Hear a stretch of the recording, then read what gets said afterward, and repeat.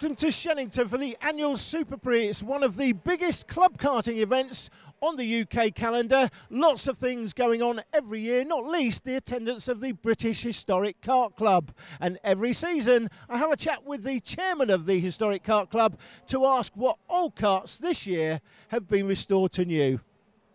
Tony, every year we're in here, and every year me and you have a chat about the old karts that have been restored. It's a, a, fascinating thing every season, and we've got three karts we've picked out this year. Talk about this one first of all. Well, this is a Class 4 gearbox kart from 1960. It's one of the earliest karts here. It's a faster kart, um, and it's with the Villiers uh, 197 engine. Uh, normally, these a lot of these karts, these faster karts, uh, with the early uh, ladder frames, they were nearly always green, but this one was red. And um, it was owned by uh, a lady called Val, Val Nixon, who, who uh, from Liverpool, who used it during, uh, dur- during the 60s quite successfully. Um, and as you see, it's been beautifully brought back to life again. It just happened to come up um, for sale, and uh, the guy who's got it now, he was looking for one. Um, and yeah, this is, this is the result. So a nice restoration. We hope to see it out on track later. Yeah, we'll have a look, um, see if we can pick that up in our coverage of the, uh, the, the karts running at lunchtime. Let's have a look at this one over here. We just make our way through the people. Now, this kart is very interesting to me. When I had a look at this earlier on, I said to you, well, this is obviously a, one of the first cadet karts, and uh, you said, no, this is a full adult kart, but it looks quite small. Yes, they are small. They were small in the day. Um, I mean, weight was everything then, so you know they kept kept it really to the to the minimum. Um, as you can see, this is uh, a kart with the uh, the seat offset to the to the left and the engine on the right, like all karts are today. It's a copy really of a, uh, or it's born out of the Techno kart, which came out in 1964 and set that trend. And this really is a zip. This is a zip um, zip international, uh, one of the first uh, zips that was uh, that was manufactured um, and would have been run by uh, Martin Hines, the same sort of kart that Martin Hines would have run, who, as you say, went on to, to win the Worlds. Yeah. So this is, uh, yeah, a nicely restored, uh, good example of, um, of those early karts. Yeah, beautiful restoration. Now, and the third one we're going to look at, this is arguably the most fascinating of them all. Um, tell us about the history. I know it's a replica. Yeah. It's not driven by the man himself, but tell us all about this one. This is a DAP uh, GP79 with a DAP engine, and it would have been the same uh, uh, kit that would have been uh, campaigned by Ayrton Senna um, back in the, uh, in the in the late 70s. Just just really after the period um, when he was running um, against Fullerton, as you know, he's the the driver that he most admired, I think. Um, and it, it is beautifully restored. I mean, this is absolutely exactly period correct. It has the right wheels, it has the right uh, the right brakes. Um, even the back axle stiffener is exactly as it would have been at the time. So again, perfect replica, really a lovely job. Yeah, you can see a lot of the similarities between the modern karts, perhaps this uh, without the bodywork, and of course we're starting to see the emergence of the real um, wide rear tyres as opposed to the earlier karts we've looked at, where the tyres are, uh, you know, quite quite thin. That's right. You're onto the 7.1 wide rear tyres that, again, are run, to, are run today. So it's similar kind of width of rubber that you see today, but the difference, of course, is the grip has changed. You know, the, um, the, the modern rubber is even more sticky, and uh, that's what gives them the lap times, really. Okay, well, thanks very much. Thank you very much indeed. You're very welcome. Time for the Shenington Super Prix 2017 to get underway. Here's the junior TKM grid. James Pashley and Joe Taylor from Ross Deal and Spencer Stevenson with Wellham, Harvey, Taylor, Nicholson, Dan McKeown and Ethan Newsham rounding out the top 10. Then we've got Dominic Kilmister and Zach Oates. Keep an eye out for some of the other top drivers working their way through the field. We may get some drivers pushing their way through to the front. Reese Baines could be an interesting one, lower down than he would like to start.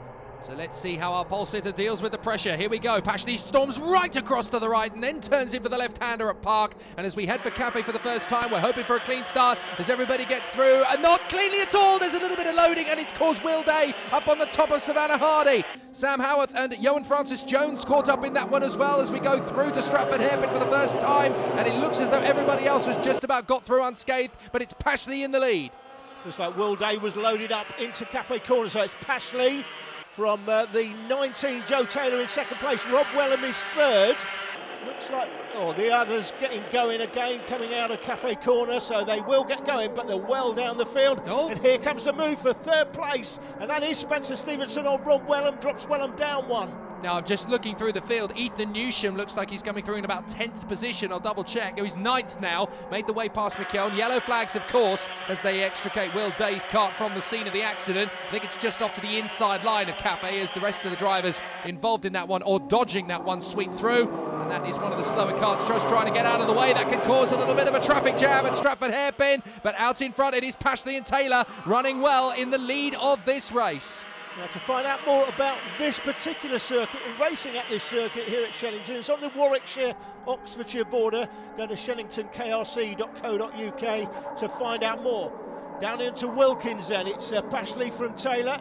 Spencer Stevenson was on the 12, or is on the 12. Then comes uh, Rob Wellham. They are still the top four. In fifth place, it's still Harvey from Rossdale.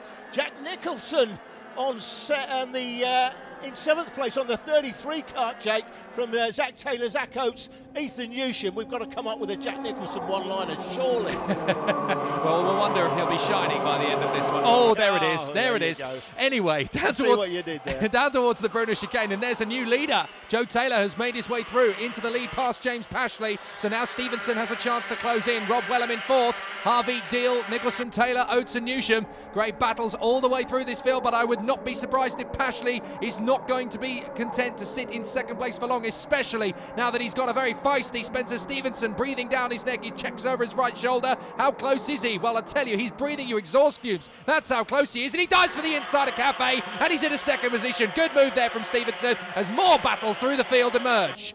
Fantastic move that one. Ethan Newsham there in 10th place. Won the Super 1 British Karting Championships last time out at Glan-y-Gors Park. So he'll be looking to get further up the field than 10th. Picked out there is Stevenson on the 12 kart there in second place. But it is the uh, 19 that leads it of Joe Taylor. Expect to see a lot of different leaders in this race. There's lots of quality through the field and it's still close. Yep, I love this circuit. It really provides drama as Pashley dives up the inside of Stevenson. Wellham nearly cuts in to move into third position. I was just going to say, I love this place, Shenington. It really is the Monza of British karting. So many long straights with incredible sweeping bends. You can get so many fantastic overtaking moves through this magnificent circuit as Taylor continues to hold station. Pashley in second, Stevenson third. From Wellham, Deal, Harvey, Taylor, Oates, and Nicholson as they tighten up again out of Stratford. Down the run to Bruno Chicane. Now, James Pashley is obviously not content to be in second position. He wants to go for Joe Taylor. Stevenson still hovering underneath him, but that is bringing the likes of Wellham, Deal, Harvey, and Taylor closer together. Keep an eye on Ross Deal in fifth position. He will want to get himself onto the podium here, and with a few choice moves, defended well by Wellham there into Wilkins, but he's got a good opportunity to move forward, and he's going to want to take it. Further back, we've got this scrap. What's that? That's Dan McKeown trying to close up on Nicholson, and up the inside, trying to get the place back off Taylor. He can't get through Pashley and almost loses the position of Stevenson. Magnificent squabbling between our three leaders. Pashley has got through to second place. Make that first place. They come up to, into Stratford Hairpin one more time. So James Pashley on the And- nine kart. And Wellham's through into third as well, and I think that's dropped Stevenson down to fifth because I think Ross Deal got through into fourth place as well. yeah, he did. That looks like it. So uh, Taylor led it, but not for long. It's Pashley that leads it now from uh, Taylor there on the 19 car. That's Rob Wellham on the 93. Is that uh, Ross Deal in Yep. fourth? It is Ross Deal in fourth. So that means, as you say, Jake, Spencer Stevenson there down a fifth. But any one of these five can win it. And don't forget, this is, I don't like to call it a win or crash event, but it's a one weekend championship event. And all of these guys in the top five, they are only thinking about coming first. They're not interested in a podium. Here we go up the inside. Taylor goes for it. Wellham, big, big tank slapper as he comes through. That was more rallycross than it was karting. And look who's got the lead as a result of all of that. That looks like Ross Deal has leapfrogged them all. Ross Deal from, I think that was fourth to first, wasn't it, through that turn. Great move by Wellham, just about held on to it, as you say. Big tank slapper, but he's still there in third place. It was all for naught. And Stevenson's now second, so he's going to try and challenge. Wellham in third, Pashley now fourth, and all the way down to fifth position has gone Joe Taylor with Oates now right underneath him. We've got a kart that's stopped out on the far side. Rob Wellham's actually been given a black and white flag I just saw there for contact. So calm it down, Rob. I know you want to win this race, but you can't banzai your way through every corner. So now he's going to try again, but he's got Pashley behind him, and he's chasing down Stevenson and Deal the inside again. Deal is through, and he's got back into the lead again. So Deal and Stevenson swapping the lead as they come up to the Bruno chicane once again. Wellham and Pashley closing up. Now it's Deal at the front, Stevenson in second position. It keeps on changing between these two. Here they come down the straight, and is Stevenson going to get a run into Wilkins through Hanger?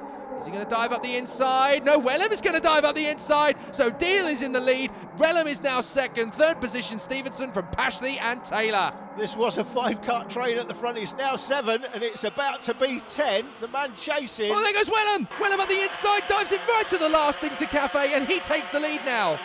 Man chasing is Dan McKeown, or was. He'll be right there now in the red suit with the white helmet. That is Dan McKeown, but here come the rest. And Oh, too late! And there goes Stevenson. Stevenson spat out to the scenery.